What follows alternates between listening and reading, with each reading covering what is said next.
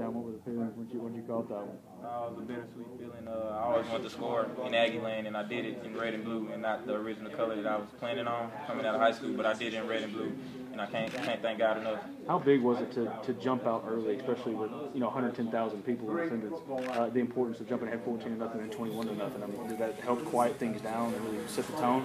Yeah, uh, coming out, we knew what we had to do. We knew that the crowd would be in it, and we our, our goal, main goal, was to get the crowd out of it and just keep going. And we know that we can click on offense if we just you know focus in on what we have to do, and everybody you know just keep doing what they have to do.